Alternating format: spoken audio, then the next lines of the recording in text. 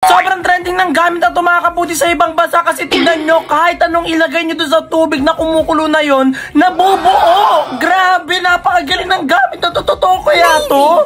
Ayan o. Hala, wow! Grabe, ang galing naman ng gamit na yun. Meron palang ganun mga kaputi. Kahit anong ilagay mo dun sa tubig, nabubuo! Grabe, meron palang ganun. So gusto kong bilhin yung mga kaputi. Titignan natin kung totoo. So bumili na tayo. Tara na!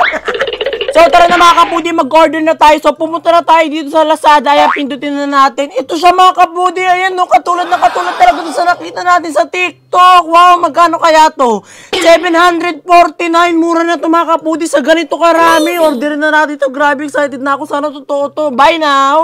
Ayan, naka-order na tayo. So hintayin na lang natin. Sana legit talaga yung gamit na yun, no? Excited na ako. Matapos ang isang daang taon! So mga kapudi, sabi daw ng delivery driver, iniwan na lang daw niya dito sa tabi ng bahay namin kasi nagmamadali daw siya. So nasa na kaya yung parcel ko? Asa na kaya yung parcel ko dito? Sabi ng delivery driver, iniwan niya daw sa tabi ng bahay namin eh. Hala, eto na ata yun. Oh my God, ang laki naman nito. Kunin ko na to. Parcel ko. Hala kuya, akin po yan. Parcel ko po yan. Sa akin to. Hala, in-order ko po yan kuya. Paano niyo pa mapapatunayan na sa inyo yan? Nag-text sa akin yung nagdi-deliver. Wala po kayong patunay kuya. Akin na po yan. Akin nga to. Isusumbong po kita sa general kong kaibigan. Sumbong ka. Tapang mo ha. Hello General, meron dito isang tao kinukuha yung parcel ko, hindi naman sa kanya. Kaya nga General eh, nandito pa kanina pa eh, inaagaw nga yung parcel ko eh. Oo nga yata. Grabe, yun, ayaw niya talagang ibigay sa akin.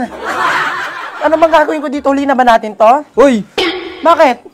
Wala akong parcel talaga. Joke lang yun. Sa'yo na yan. Tawag ka pala sa General Kuya eh. Scammer Hindi na, ka sa'yo na yan. Ka na babalik dito.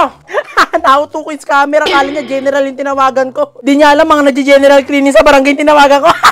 so, ito na mga kapudi yung parcel natin. Dumating na siya finally after kong makipag-agalan doon sa scammer. So, buksan na natin daw. Titignan natin kung totoo. So, tara na. so, first mga kapudi, guntingin na natin siya. Ayan, sana legit itong nabili ko at hindi rin ako na-scam doon sa pinagbilan ko. Baka bato itong nandito sa loob. Ayan, so buksan na natin siya gamit tong gunting. Ayan. Kaya kayo mga kapudi, mag-ingat kayo sa mga scammer. Nakilalanin nyo kung sino yung mga sinasamahan nyo at kung sino yung pinagkakatiwalaan nyo. Ayan. So buksan na natin to. Yeah! Batong gunting namin ang purol. Yeah! Sana totoo yung mga kapudi na kahit anong ilagay mo dun sa tubig, nabubuo. Ito na. Yeah. Yeah. Oh my God, ito na siya! Ayan o, DIY nakalagay! Ito na. Tanggalin na natin to dito. Yeah. Wow! Ito na siya! Grabe! Laki ng box niya. Ito na mga kapudi. Oh. So, buksan na natin to. Excited, excited na akong gamitin to. Sana legit. so, buksan na natin tong loob mga kapudi. Titingnan natin kung anong mga laman neto. Ayan. So, meron na namang scotch tape. Grabe, ang dami namang budget ng store na yun sa scotch tape.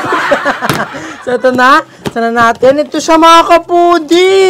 Ayan. Oh my God, merong iba't ibang shape ng hayop. Meron ditong pusa. Ayan, nanto ba? Ang dami. Wow. Grabe, meron ditong crabs. Ayan, meron tayo ditong crabs. Butterfly. Dolphin. Starfish. Apple. Di ko alam kung ano to. Siguro ito yung sa snow. grapes. Ay, grapes. Ano, strawberry. At pusa. So, gawin na natin to. Ano pa yung nasa loob? Ayan, merong ganito maliit na bowl. Dito ata nilalagay yung tubig. Di ko alam. Ito pa, meron pang ganito. Ano pang nasa loob? Ayan, ano to? Ano to mga kaputi? Di ko alam kung ano yan. Grabe, ito pa. Hala, nasan yung nilalagay sa ano? Sa tubig. Oh my God, mukhang na-scam tayo. Hindi, meron pa siya sa loob. Meron pa siya sa loob, sa ilalim. Eh no, meron pa siya ditong part na mabigat. So, tignan natin kung meron pa. Try na natin tong box. Ayun, meron pa nga.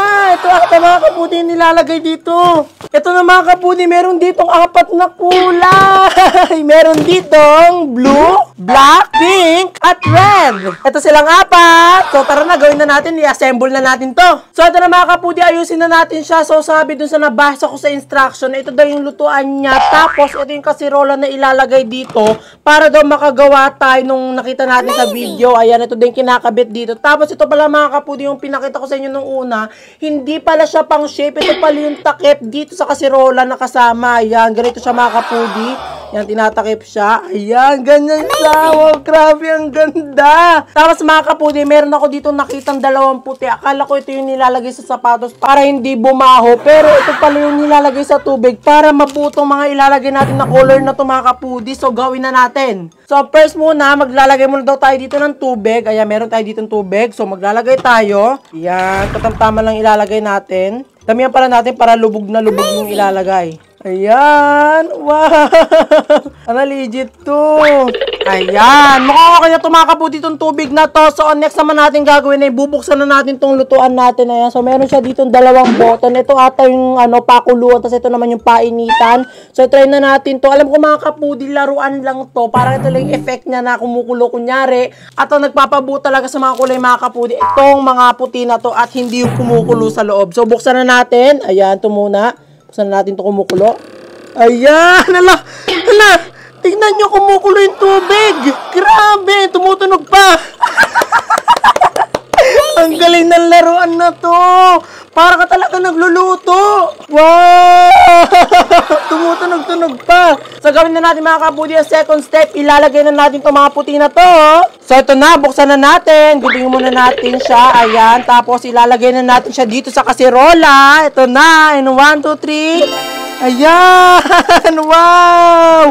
Di ko alam mga kaputi kung isa lang ilalagay or dalawa. So, itatry muna natin sa isa. Tignan natin kung gagana. So, tunawin na natin itong mga kaputi itong puti. Ayan. So, halu-haluin natin siya gamit tong kutsara. Ayan! Halu-haluin. Wow! Grabe, napaka-high-tech na talaga ng mga laruan ngayon, no? Dati kahit mga ipit lang, ginagawa ko robot. At ito ngayon, tignan nyo. Oh, may effect-effect na ng mga bumubula-bula. Ang galing! Ayan, so hintay lang natin matunaw yung mga puti. So ito na mga kaputi sa tingin ko okay na to kasi kanina pa siya kulo na kulo. So ilalagay na natin itong mga pangkulay natin. So una muna natin ilalagay ay itong apple. Ayan, tapos itong red. So ito na, tabi muna natin to kumukulo. Ayan, tapos kunin na natin itong pang shape natin ng apple. Buksan na natin. Ayan, ipatak na natin. Damihan natin para talaga mabuo siya. Ng pati dito. Wow, talaga matutuwa dito mga kapudi yung mga anak nyo. Meron na pala ako mga kapuding may anak. Oo nga, marami na rin. Ito na mga kapudi, sa tingin ko okay na to. So, ilublog na natin siya dito sa tubig na merong ganito. Ayan. So, ito pala mga kapudi, ito yung gamit para lumubog sila. Ayan, dito natin siya ilalagay. Lalagay pala natin to sa loob. Oh my God, natatapon. Dahan-dahan lang pala.